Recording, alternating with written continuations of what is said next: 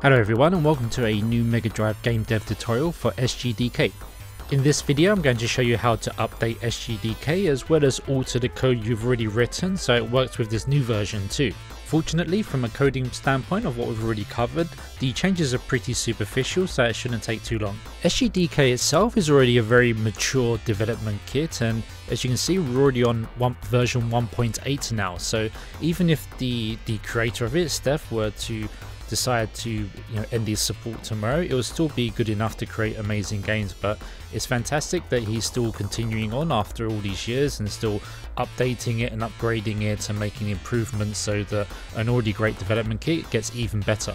I'm going to include the link to Steph's Patreon for the SGDK project in the uh, video description below, so anyone with the means to do so, I definitely encourage you to support him if you can.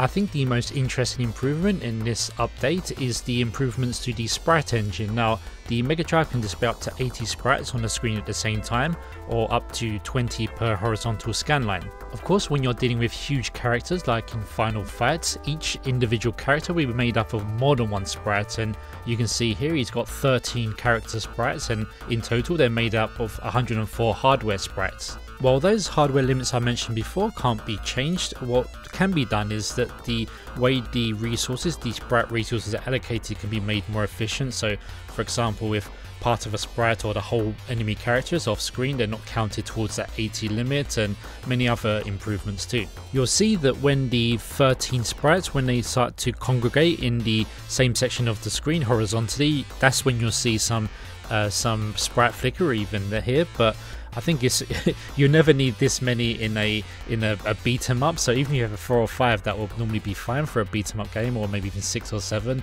rather than 13. So I think this is a really great improvement. My Castlevania Symphony of Night game, although the characters aren't as big as in Final Fight, there will be quite a lot of them. Plus, I use some sprites for some background details, such as the trees, to create another layer of parallax scrolling, and you also have the candles and projectiles. So this will be very beneficial for me and beneficial people who want to do beat 'em ups, and especially those who want to do shoot 'em ups because you have lots of projectiles and ships and so on, which can obviously cause some sprite flickering. You don't want a projectile or, or, or ship to disappear because of sprite flicker and then damage the player because that's going to be very frustrating. Since this will be the first tutorial of 2023, I just want to take the opportunity to talk a bit about my own learning goals for this year because after all, I'm still something of a beginner at this stuff myself. I've never actually created a game from beginning to scratch in any environment and I'm, I'm relatively new to SGDK myself, so there's still a lot of things that I want to learn. One of the main things I wanted to do is to learn how to create these animated background tiles. So um, you can see here, although it might not look particularly exciting, what's exciting to me is the flashing uh, pink and yellow tiles. Now, these aren't just a, a, quick palette swap, which I know how to do already. These are actually tiles which have been cycled in and out of VRAM. So in this particular scene, the clocks will have this, um, what do you call this, pendulum that goes, swings back and forth. And while I could do those as, as sprites instead, animated sprites, the fact that there's so many lined up horizontally will probably mean that when you add the character and enemies in as well, it'll it'll go over the 20 you know 20 sprites per horizontal line limit, and that will create some sprite flickers. So for this scene, since I'm doing the marble gallery for the Symphony of the Night game, I really needed to learn how to do these animated background tiles instead. I managed to think of a way to do this myself, but um, after discussing it with, with Steph, the SGDK creator, he said it was a very inefficient way of doing it. So thankfully, he's taken the time, been generous enough to give me the time to go through how to actually update the tiles in VRAM one by one in a much more efficient way so it doesn't impact performance. And of course, um, I'm going to create a tutorial on this later this year as soon as we're done with doing the, the map tutorials for the large levels. For anyone thinking, oh my god, this looks so ugly, don't worry, I know this was just a very quick and uh, dirty conversion I did of the, the PlayStation graphics to get it into my Mega Drive.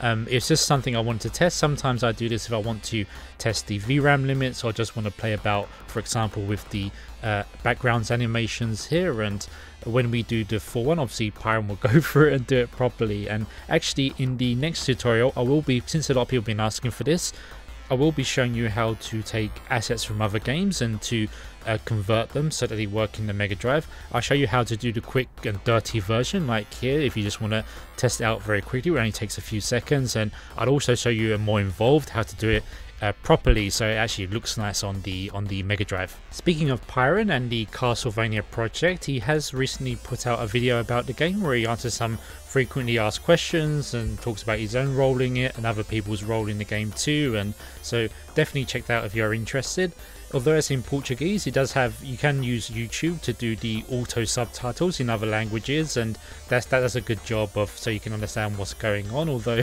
for the English version, at least, it does make some rather interesting choices of uh, translation sometimes. Okay, with that out of the way, now let's look how to update SGDK. Now, I'll put the link to SGDK in the video description and if you scroll down you'll just see the various changes and improvements been made in this version and if you go right down to the bottom that's where you'll find our download link. Once that has downloaded you can simply extract all the files from the zipped folder.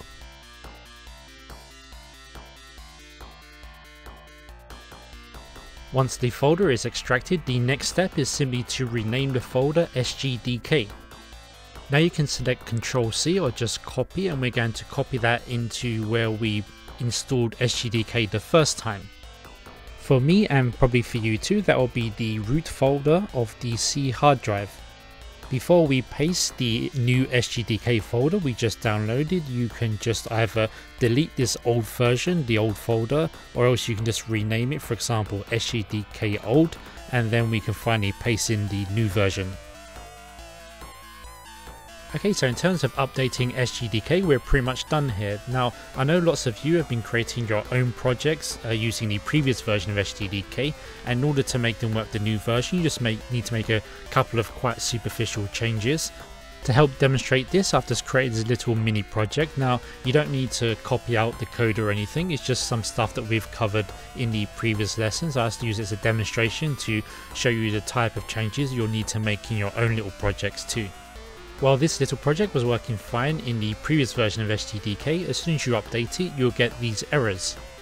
Although the number one shows up next to problems, there's actually at least two problems here as you can see when we try to compile. The first one, it says we need to, uh, the tile user index, there's something wrong with that, it's undeclared. And secondly, there's a problem with the sprite init. It says error too many arguments to function spr underscore init. Thankfully these errors are very easy to fix and the IntelliSense will give you an idea too. We simply replace the uh, tile underscore user index with tile underscore user underscore index. I think the reason that was changed in the latest version of SGDK is simply to make it look a bit nicer, so it's a, a very superficial change. Now, something a bit less superficial is changing the uh, SPR underscore init. Remember, this was initializing our sprite engine, and as I said before, the sprite engine has gone through a lots of uh, changes in this update. When I did the tutorials on sprites before, I said to simply set the three arguments it takes as zero because they don't make much difference anyway. But in this version, um, Steph has decided to do away with all those uh, arguments anyway, so you can't enter any extra information and tell the function to do anything anything different. Simply do spr underscore init and then open the brackets and nothing in the brackets and just close it off with a semicolon. If we now try to compile again, although those two problems will be fixed, we get another error come up. It's a little bit cryptic, it says in function underscore hint, undefined reference to hint CB. Fortunately, the solution to this is very simple. Under the src folder, there's another folder called boot.